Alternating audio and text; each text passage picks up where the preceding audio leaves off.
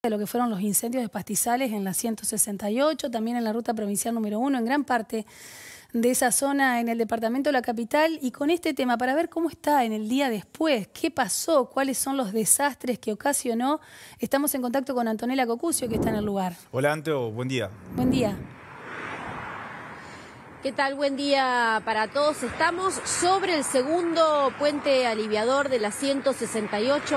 Aquí fue la situación más crítica anoche porque las llamas llegaban casi hasta la ruta. Vamos a ver cómo quedó este lugar. Fíjense, todo quemado. Y cuando se habla de sequía, que se viene esa nueva etapa seca con lo que es la llegada del ciclo de la niña nuevamente, que va a haber pocas lluvias, quiere decir que todo esto va a empeorar, ¿no? Por eso la provincia está trabajando en los protocolos a seguir. Para que ustedes dimensionen, Gise, vos, que sos de la zona y conoces, esto cuando el río está alto, es agua, ¿no? Exacto. Todo lo que hemos quemado aquí es agua, por eso hay puentes en esta zona. Así está en este momento, lo que vemos obviamente oscuro es todo lo que se quemó ayer, una zona de difícil acceso. Nosotros tuvimos que, caminar bastante para llegar de forma segura, porque los autos pasan a gran velocidad, a esta pequeña veredita donde estamos sobre el aliviador.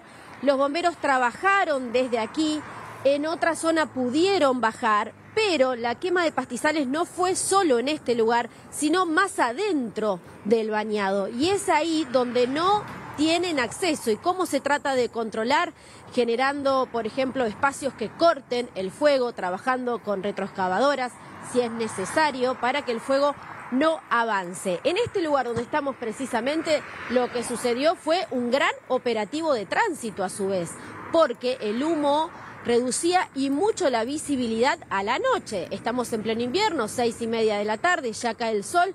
Bueno, en esta zona había un fuerte control policial por los bomberos que estaban trabajando para resguardarlos, obviamente, y a su vez para resguardar el tránsito. Esta, esta ruta conecta a su vez con toda la zona de Quintas y eso también genera que mucha gente vuelva a la ciudad el domingo por la noche, así que hubo demoras también en el ingreso y egreso a Santa Fe para aquellos que vuelven, porque también así como es zona de Quintas, es una zona donde mucha gente con las Norte, con las Sur, Rincón, ha elegido vivir mucho tránsito, siempre vemos los fines de semana, más que nada el domingo a la noche, y se vivió una situación particular porque hay circulando, se viralizaron videos de automovilistas que tenían que circular a paso de hombre y grababan lo que pasaba. Las llamas llegaban casi hasta el asfalto. Sí, Realmente impresionaba ver eso y el, y el humo que cubría todo. Además, Dan, todo esto fue durante todo el día, es decir, impactan mucho más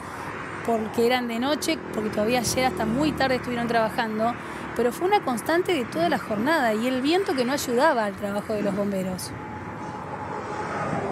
De toda la jornada y no solo aquí, en el área metropolitana de la ciudad capital hubo otros incendios, ruta 70 y circunvalación, también una zona donde hay muchísimo tránsito y movimiento de personas había muy baja visibilidad por los incendios. En la zona de Santo Tomé, cerca de la laguna Vedetti, también hubo incendios, por lo cual todo lo que rodea la ciudad era humo. Realmente una situación muy preocupante. ¿Qué es lo que dicen? Estamos entrando en una etapa, nos saludan, estamos entrando otra vez en una etapa de sequía el tema de lo que fueron las heladas tampoco ayuda. Uno lo puede ver si tenés un patio en tu casa, lo que se quemó quedó totalmente seco. Se espera que no haya lluvias por largo tiempo o muy pocas precipitaciones. El terreno es propicio para los incendios.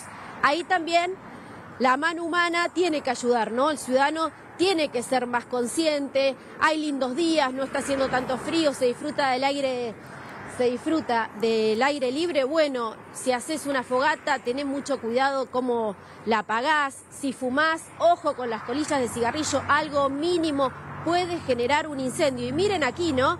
Hay viviendas en esta zona que están muy cercanas, ahí la está mostrando Pablo con, con su cámara. Mirá lo que es, mirá la gente lo cercana que quedó a esa, el fuego, lo cercano que quedó a esa vivienda, ¿no? La situación que que han vivido, me imagino, de, espanto anoche, ¿no? Porque las llamas llegaron casi hasta la casa de estas personas y es una zona de bañado donde vemos eh, viviendas, no tan juntas, pero cada tanto hay alguna, por lo cual eh, también toda esta gente, esta familia se vieron rodeadas por las llamas. ¿Qué dicen desde provincia? Se está trabajando. Es más, desde el área de protección civil recorrieron gran parte del territorio santafesino, más que nada en las zonas más críticas, para empezar a diagramar protocolos porque saben que viene una etapa complicada para trabajar con bomberos zapadores, bomberos voluntarios y al mismo tiempo con municipios y comunas, ¿no? Que pueden aportar, por ejemplo, equipamientos, palas retroexcavadoras, como decíamos, para hacer estos cortes de fuego, también los camiones regadores de los caminos de tierra, bueno, muchas veces sirven para el día después seguir humedeciendo el suelo para terminar de apagar el fuego, ¿no? Porque estas zonas, los bomberos dicen, nosotros venimos y las controlamos, porque puede quedar alguna zona caliente, alguna zona que tenga mucho calor y con la falta de lluvia y el sol puede volver a prenderse, ¿no? Bueno, este es el panorama que se vive por ahora controlado, lo que piensan es eso, ¿no? Tener un diagrama específico para afrontar lo que se pueda venir, no solo por la baja visibilidad Cuba Noche, por las viviendas que hay cerca, sino por los problemas respiratorios que pueden traer a todos los que vivimos cerca de estos lugares si el humo empieza a ser una constante. Totalmente, tierra realmente arrasada, ¿eh? la imagen que recién veíamos, cómo ha quedado todo. Anto, te agradecemos, gracias. Gracias a ustedes.